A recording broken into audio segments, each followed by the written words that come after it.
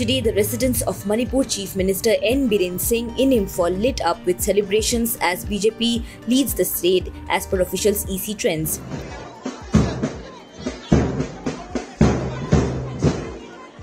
CM N. Biren Singh is reportedly leading in Heingang constituency. Women playing music and dancing were seen at the CM's residence. Visual of the celebration was shared by news agency ANI. The Bharatiya Janata Party is set to retain power in Manipur as the party is leading in 28 seats while the Congress is leading in 9. Naga People's Party or NPP is also leading in 9 seats and JDU in 4 seats. Manipur Chief Minister N. Biren Singh is currently leading in the Heingang constituency. Assembly polls in Manipur were conducted in two phases on February 28th and March 5th. Subscribe to Oneindia channel and never miss an update.